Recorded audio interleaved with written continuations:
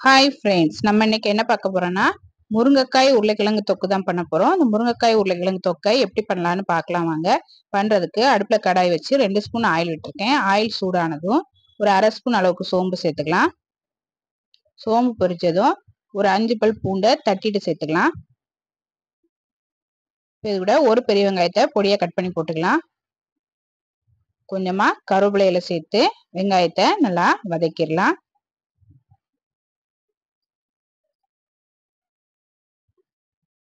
இப்போ வெங்காயம் இந்த அளவுக்கு வதங்கினதும் சின்ன சைஸ்ல ரெண்டு தக்காளியை பொடியாக கட் பண்ணி போட்டு நல்லா வதக்கி விட்டுடலாம் இப்போ தக்காளியும் நல்லா வதங்கிருச்சு. இப்போ இது கூட ஒரு உருளைக்கிழங்கு ரெண்டு முருங்கைக்காவை நல்லா கழுவிட்டு கட் பண்ணி வச்சிருக்கிறேன். அதை சேர்த்துக்கலாம். முருங்கைக்காவையும் உருளைக்கிழங்கையும் சேர்த்து அடுப்பை மிதமான தீயில வச்சு எண்ணெயிலே ஒரு அஞ்சு நிமிஷத்துக்கு நல்லா வதக்கி விட்டுடலாம்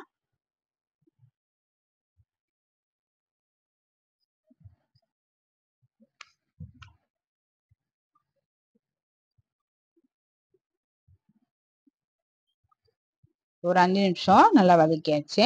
இப்போ இது கூட ஒரு கால் ஸ்பூன் அளவுக்கு மஞ்சள் தூள் ரெண்டு ஸ்பூன் அளவுக்கு சாம்பார் தூள்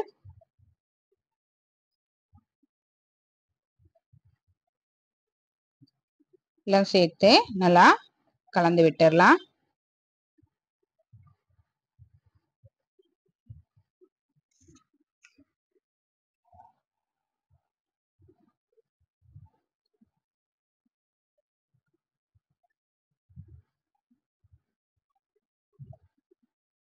எல்லாம் சேர்த்து நல்லா கலந்தாச்சு. இப்போ இது கூட ஒரு கப் அளவுக்கு தண்ணி சேர்த்துக்கலாம்.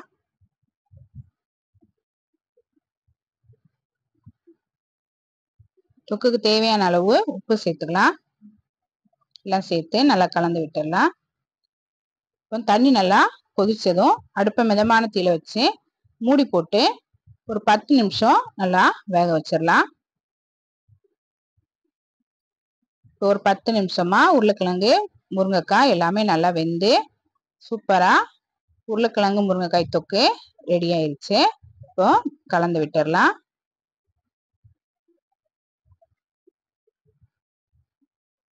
இப்போ அடுப்பு ஆஃப் பண்ணிட்டு கடைசியாக கொஞ்சமாக மல்லியில் சேர்த்து கலந்துட்டு இறக்கிட வேண்டியதா? இந்த உருளைக்கிழங்கு முருங்கைக்காய் தொக்க சாம்பார் ரசம் எல்லாத்துக்கும் சைடிஷாக வச்சு சாப்பிட்டா ரொம்ப நல்லாயிருக்கும் ட்ரை பண்ணி பாருங்கள் பிடிச்சிருந்தா நம்ம சேனலுக்கு லைக் பண்ணுங்கள் ஷேர் பண்ணுங்கள் கமெண்ட் பண்ணுங்கள் சப்ஸ்கிரைப் பண்ணுங்கள் கூடவே பெல் பட்டனை ப்ரெஸ் பண்ணுங்கள் தேங்க்யூ